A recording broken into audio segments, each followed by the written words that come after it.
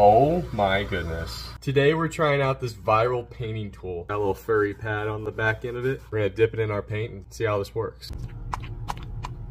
You just dab it on a little bit and smooth it around.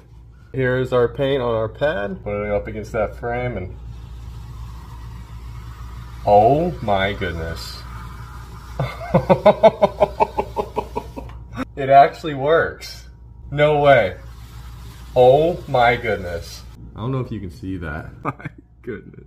That's crazy. Those of you that can't cut in with a brush, you actually need to try this out. I didn't expect this to work, but it does. This is crazy.